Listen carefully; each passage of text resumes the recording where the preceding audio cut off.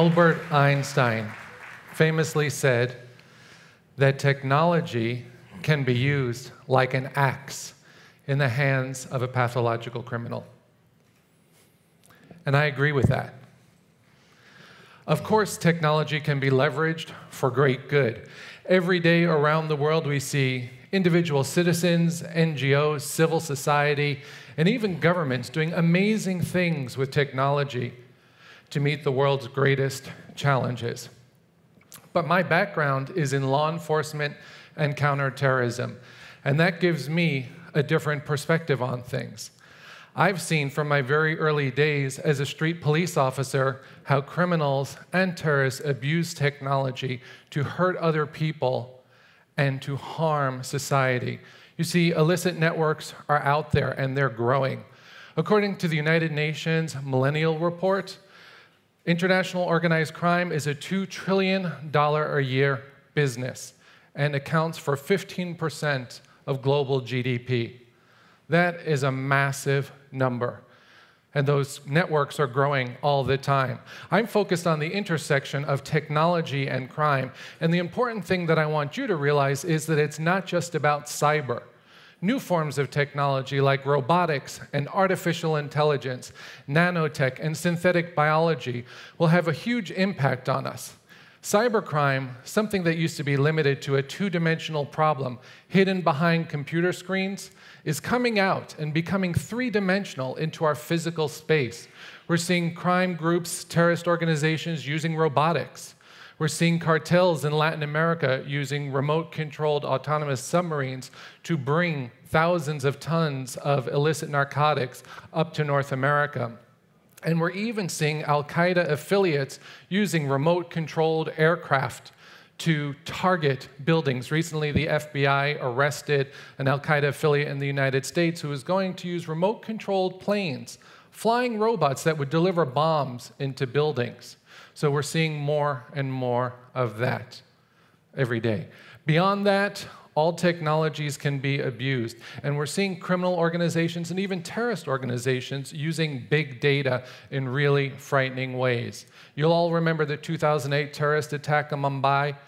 After that incident occurred, research revealed that the terrorists set up their very own war room and were leveraging information in real time. So they were watching BBC and Al Jazeera and CNN, and as the information was coming in about the location of the police and the location of hostages, they were following that on social networks. When somebody called into the BBC and said, I'm hiding in room 554, the terrorist war room heard that and they phoned the terrorists on the ground to let them know that there were more hostages. They monitored Twitter. And as the public was reporting on police activities, the terrorists in real time were repositioning their ground operatives. And in one terrible example, they trapped one particular man and they weren't sure whether or not to kill him. They ran his name through a search engine, found him online, and realized that he ran the second largest bank in India. And after finding him online, came the word from the terrorist operations room to kill him. So, search engines are being used to determine who shall live and who shall die. And that's of great concern to me because technology is growing exponentially. People would say we've always had technology and we always will. And technology can always be used for good and it can always be used for harm. But what concerns me is the pace of technology and the rate of technology. You see, it's very difficult to keep up in these difficult times for law enforcement. And we know firsthand, many of you in this room, just as well as Mark, I, what happens when these terrorists get a hold of this technology. Astro, what do you think about that? Astro, Great. you have four minutes. So, I don't want to make it sound like there isn't a problem, but there's a saying that if you ask your priest if you can smoke while you pray, he'll tell you you can't. If you ask if you can pray while you smoke, he's certain to tell you that that's reasonable. So, perspective is pretty important. Let me give you another example that's a little closer to home.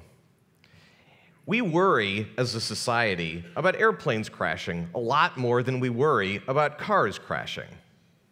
But many, many more people die in car accidents than airplanes. Why do we spend so much time worrying about the airplanes crashing?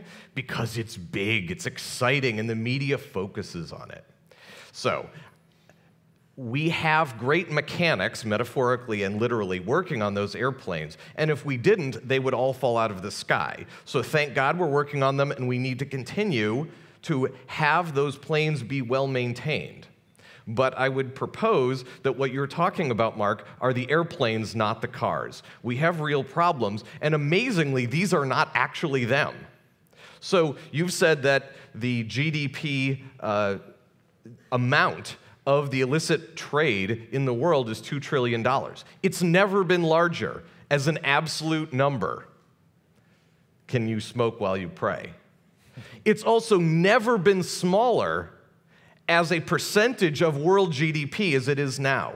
The world is, by any standard, wildly safer, wildly more prosperous than it has ever been in our lifetimes. So, this is not to say that there are no problems in the world. It is not to say that technology uh, is not a double edged sword. But I would like to start from the perspective that we're winning.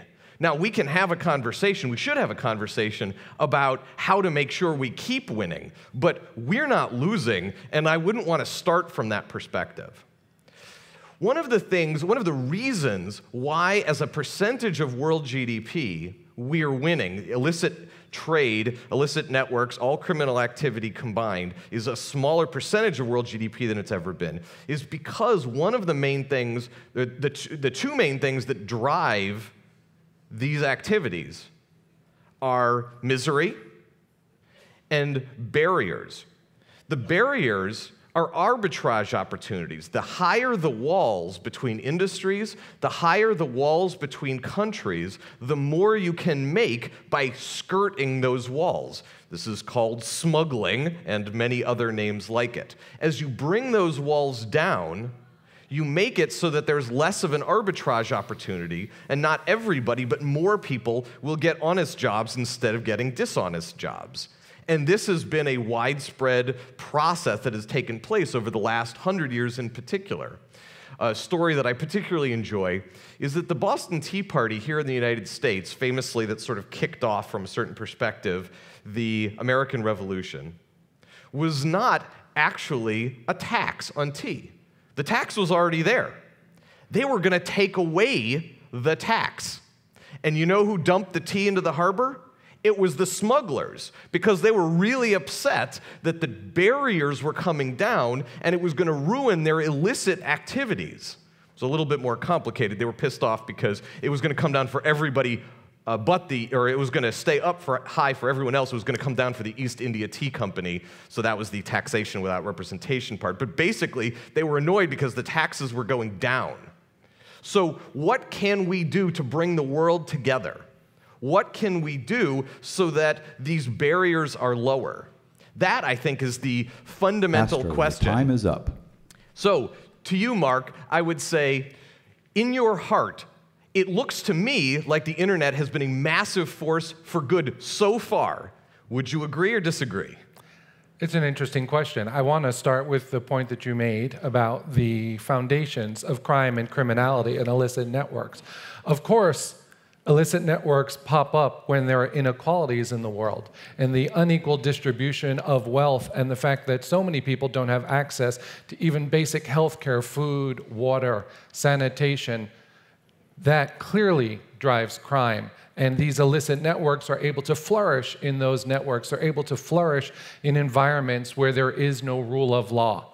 I get that. But I'm focused on the problem of today. And there are many good people that are addressing the base causes of, of inequity. As a police officer, somebody who's worked in 70 countries around the world addressing these problems, what I'm trying to do is get justice and some sort of response for the people that must live under these conditions, for those that are victimized by these crimes. If we move forward, you asked a question about the internet. Clearly, the internet has been a force for good, and I myself benefit from it every day. I remember the first time I went online and how exciting it was. But of course, bad guys can use these technologies too, and as we just saw in Mumbai, they're capable of doing so. The problems that we have today are maybe very minor compared to the ones that we have in the future because the size and scope of the internet is growing. It took many years for us to get the first billion people online. We reached the second billion relatively quickly, and in the coming years, another 5 billion people will join the global network. Moving beyond that, it won't just be people that are connected to these networks, but things. The Internet of Things will allow every car, toaster, refrigerator, child, pet, building, chair, and coffee cup to have an RFID tag on it, just like the ones we have on our name badges today. And when that happens, it will open up new opportunities for hacking. You see, there's never been an operating system that hasn't been hacked.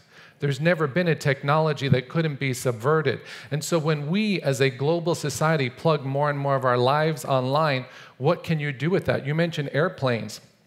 There has been a case where somebody was sitting in an airplane and was able to connect their computer to the entertainment system on the aircraft, and from that tunnel their way through to the engine management system of a flying aircraft.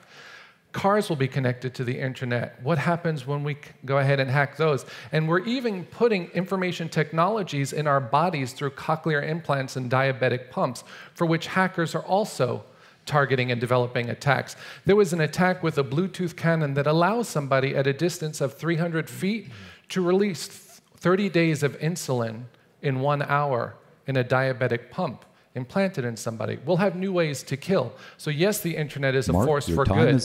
But I'd like to know what are you going to do about the insecurity in all these systems? Great. So um, you just mentioned uh, scarcity, the misery part of the equation. And again, I'm not adverse to worrying about how the bad actors can use technology. Uh, we'll come back to whether that's actually the main thing that they use, but whether they use technology, how they use technology, and to head them off at the pass. I'm all for that. All I'm suggesting is that technology may have roles which are even better suited to removing the point of their effort in the first place. Let's, instead of going to the place where the misery is and try to stamp down the symptom, let's use technology to go into where the misery is and stamp out the cause. Because if the cause is misery and scarcity, technology is a massive force for globalization and bringing the world together. The world has never been a safer place, among other reasons, especially for state actors, because we're more economically entangled with each other. It becomes less and less interesting to attack each other, at least at the state level. And the reason for that is primarily transportation technology and information technologies.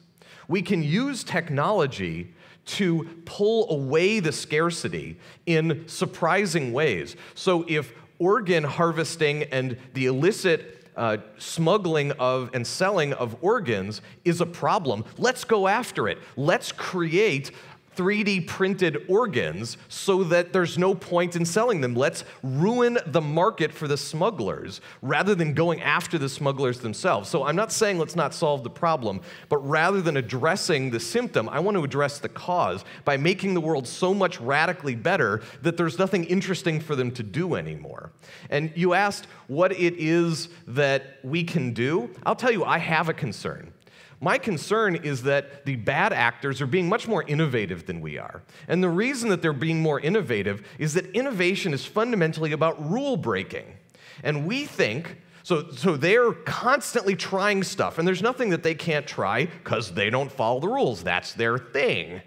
We think that we have to follow the rules, which we have to be ethical, and we can't break the laws because if we do those things, then we're not the good guys anymore. That's true, but in our haste to be good, to not break those rules, we have lost the ability to break other rules. We have to be creative. We have to find all of the conventions and assumptions that we use about technology and about how we can use technology to make the world a better place and to go after the bad actors. We have to break those assumptions down. And our society, the, the good people taught in universities and governments, are frankly quite bad at that kind of wild creativity.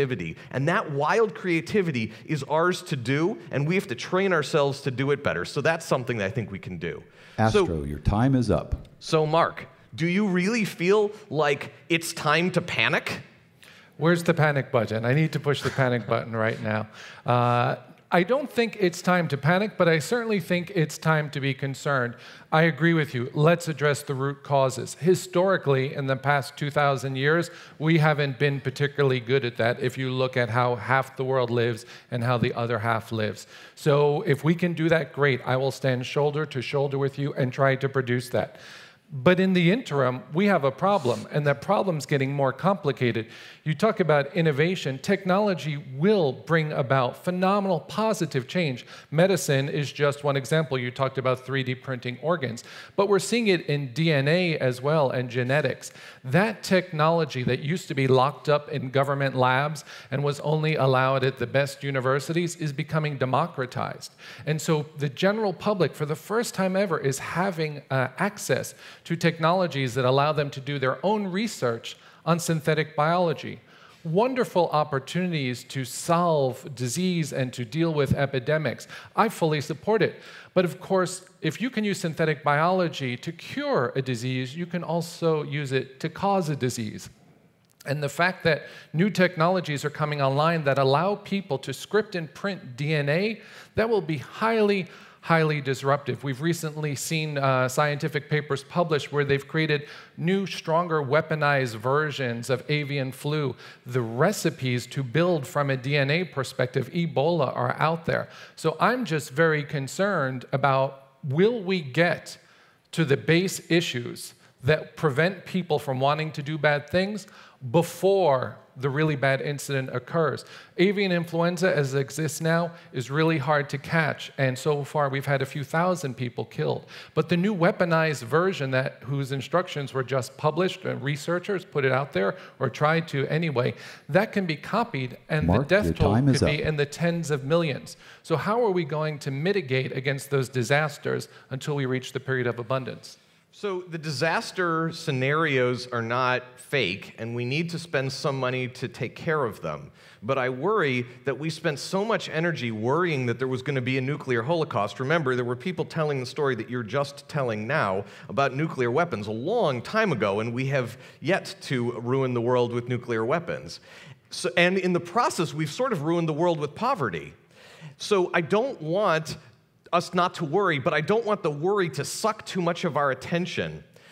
You know, we've seen in movies for a long time now these marauding robots that can spray bullets and lasers and shoot down the whole crowd. But the truth is, we can't make a robot yet that can make it down these stairs without turning into landfill. So it's harder than it looks, and it's going to be harder than it looks in synthetic biology, too. You know, more people die every year from domestic violence than from terrorism. And yet, terrorism's just a cooler subject, so we just have bigger crowds talking about terrorism.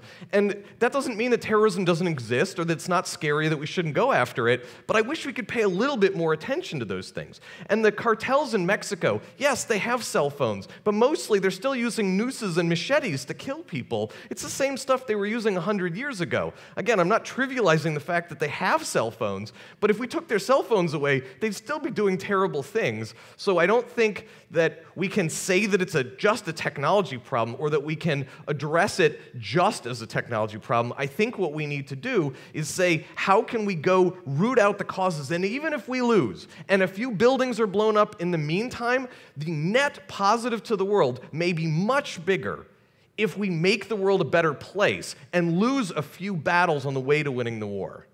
So, your thoughts about how we can fix it?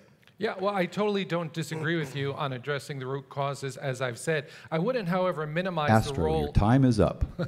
I wouldn't, however, minimize the role of technology. The fact of the matter is, you can sell more narcotics, you can kill more people, as we've seen in Mexico. 50,000 narcotic related deaths in the past six years. That's nothing to sneeze at. Whether it's done with a machete or an AK 47, that enterprise and that violence is enabled by technology, whether it's SMS phones or organized crime groups building their own national cell phone and encrypted radio systems. Moving forward, I fully agree that there is an opportunity for significant innovation in government. If we could be half as innovative, if the systems allowed us to do that, to battle some of these issues, whether at the root causes or while the attacks are occurring leading up to them, let's definitely do that. In fact, I think that government doesn't have all the solutions. We need to bring people from the general public, from civil society in to work with government and create that innovation, leveraging technologies in the ways Mark, that you're your time is suggesting. And I want to be part of that process. All right. So I agree that we have a societal sort of structural problem. We don't trust our government, and our government doesn't really trust us. And we're both the good guys, and we have to get over that if we're actually going to beat the bad guys at their game of the sort of technology stuff, the doomsdays that you're describing. And we're going to have to work through this about whether we want to just have a paternal government that takes care of us and then we just don't help, or if we use networks to take down the networks, but that's going to involve the government trusting us more. You know, I like the saying that entrepreneurship, when it's done best, is a combination of scathing paranoia and boundless optimism. So I think we have both here on stage, and I think if we work together, we can kick their ass. I'm happy to do that with you. Thanks, Astro. Thanks. Well done. Thanks.